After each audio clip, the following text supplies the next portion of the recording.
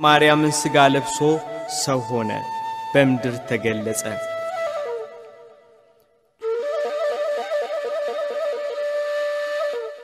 ሰላሳ ሦስት ዓመት ከሦስት ወር በምድር ተመላለሰ። የምሥራቹን ወንጌል አስተማረ። ሕሙማነ ሥጋን በታምራት ሕሙማነ ነፍስን በትምህርቱ ፈወሳቸው። ምድር ግን ለክርስቶስ ሞት ደገሰችለት። አይሁድና የካህናት አለቆች በተመሳቀለ እንጨት ላይ እንዲሰቀል ፈረዱበት።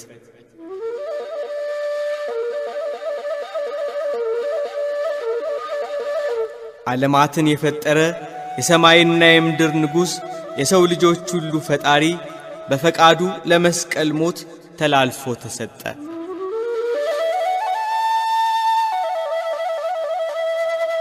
አይሁድ በአምስት ችንካር ቸንክረው በመስቀል ላይ ሰቀሉት። የተሰቀለበት መስቀል በደም ተሸፈነ። በመስቀል ላይ ሥጋውን ቈረሰ፣ ደሙን አፈሰሰ። በመስቀል ላይ ሆኖ ለአዳምና ልጆቹ ሁሉ ሕይወትን አበራ። ተስፋ አድርገው በሲኦል ተጥለው ለነበሩ የሰው ልጆች በመስቀል ተሰቅሎ አርነትን ሰጣቸው። በመስቀል ተሰቅሎ የሲኦል ኃይላትን አጋንንትና አለቆቹን ከእግራችን በታች ጣለልን። በሰው ልጆች ላይ እንዳይሰለጥኑ በእሳት ጃንጀር አሰራቸው። ከመስቀሉ ብርሃን ወጣ፣ ለዓለም ሁሉ አበራ። የብርሃናት ጌታ የብርሃን ፈጣሪ የሰው ልጆች ሁሉ አባት ጌታችን ኢየሱስ ክርስቶስ ስለ ሰው ልጆች ሁሉ ኀጢአት ራሱን አሳልፎ ሰጥቶአልና።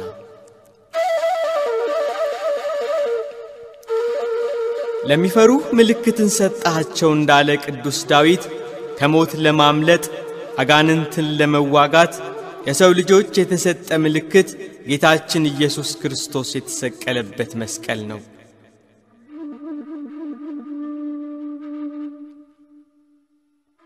ክርስቶስን አስበን የተደረገልንን በጎ ሥራ የአምላካችን የሰው ልጆችን መውደድ እርሱ ስለ እኛ ተላልፎ መሰጠቱን ስናስብ የመስቀሉ ነገር ቀድሞ ይታወሳል። የድል ነሺዎች ምልክት፣ የክርስቲያኖች አርማ፣ የአጋንንት መቀጥቀጫ፣ የሰማያዊው ርስት፣ የመንግሥተ ሰማያት ብርሃን የሚፈነጥቅበት ለእኛ ክርስቶስን ለምናምን ለምንፈራው የተሰጠ ምልክት ነው የክርስቶስ መስቀል።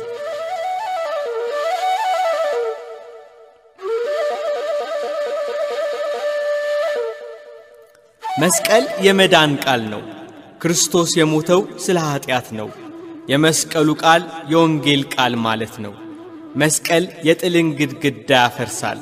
በሰው ልጆች መካከል የነበረው የጠብ ግድግዳ የፈረሰው በመስቀል ነው።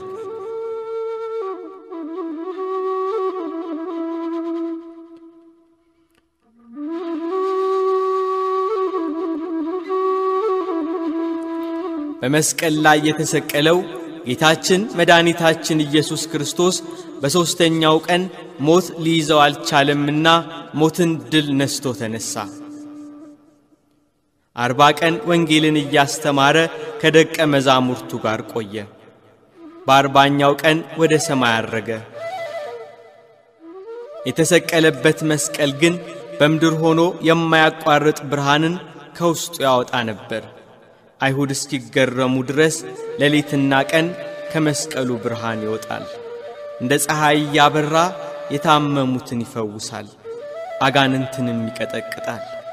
በዚህ ምክንያት ብዙ አይሁድ በክርስቶስ እያመኑ በሐዋርያት ኅብረት ሥር ወንጌልን መማር፣ ስለ ክርስቶስ መመስከር ጀመሩ። ይሄ ለአይሁድ ፈተና ሆነባቸው። አጋንንት አድረውባቸው የመስቀሉ ጠላት ሆኑ። ብርሃኑን ሊያጠፉ ምልክታችንን ሊደብቁ ተነሱ።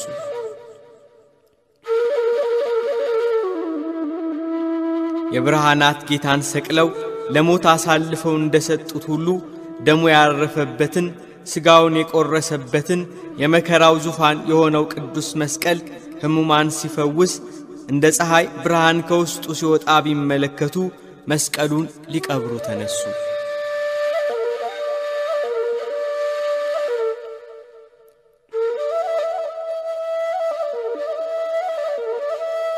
በቀራንዮ ተራራ በምስራቅ በኩል ስልሳ ክንድ የሚሆን ጉድጓድ በአዋጅ አስቆፈሩ። በዚያ ጉድጓድ ውስጥ የጌታችንን መስቀል አስገብተው አፈሩን መልሰው ቀበሩት። የአካባቢውና የከተማው ቆሻሻ በዚያ ጉድጓድ ላይ እንዲጣል አዋጅ አስነገሩ። የመስቀል ነገር እንዳይነሳ፣ ስሙ እንዳይታወስ፣ ሥራውን እንዳይዘከር የከተማው ሰው ሁሉ በዚያ ቦታ ላይ ቆሻሻ ይጥል ጀመር።